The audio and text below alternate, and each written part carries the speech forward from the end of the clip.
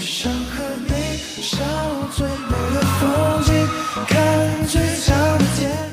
不错就错了，错就错了。I'm just the guy, the night. 你旋律别唱错了，第二词别错，这是最基本的嘛。但它永远是旋律是错的，词是错的。好，没事，你唱一遍我听。你先休息一下。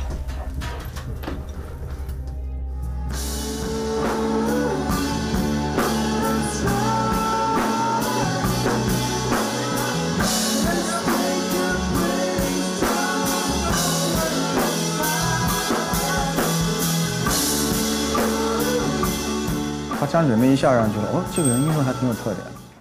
罗布，我觉得就现在你可能进入状态比较慢，对，然后这次我做个调整，我们这次让小罗唱就好了。突然就是换到我来，就弹键盘又当主唱了。我上台唱歌经验几乎是零，也挺慌的。Let's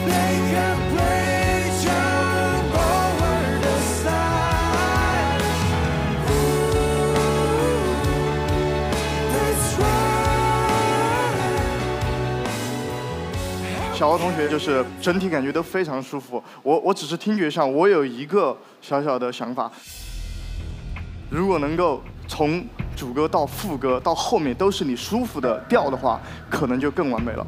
是是是。其实很想在这个节目能唱歌了，因为知道后面原创环节。只剩下天真的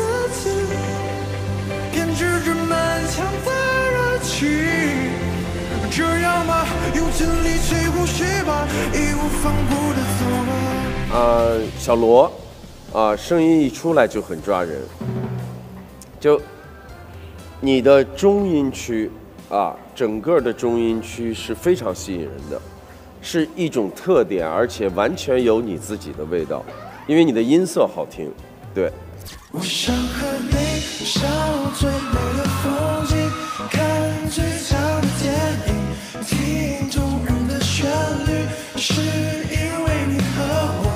无论是从人声，还是从乐器，还是从编排的层次这些方面，小罗越来越进入到一个不断可以挑大梁的主唱的。其实我觉得他最大的魅力就是他张嘴那一下。小罗挺好，也挺积极、热爱学习的，然后对音乐也很很感兴趣。希望他更好吧，希望他可以得到他想要的东西。每周六优酷独播，用音乐寻找志同道合的灵魂，一起乐队吧。